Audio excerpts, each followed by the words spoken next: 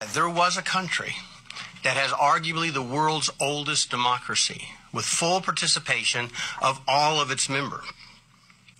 What would you say if I told you that there is a country where a group of people has the oldest written constitution featuring guarantees for individual freedom and due process in the world?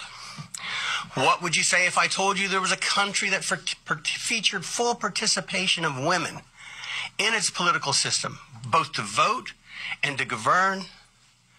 And they started doing this when Europe was in the Dark Ages, in the 800s. What would you say if I told you this very same country has the greatest number of doctors living in the United States of America per capita than any other nation in the world? Making America better, building tech companies in the United States to help the people back home. Would anybody be able to guess that country was in Africa? Would anybody be able to guess that country is Nigeria? Because it is. That's Nigeria. So when you say why Nigeria, it is almost a fool's question.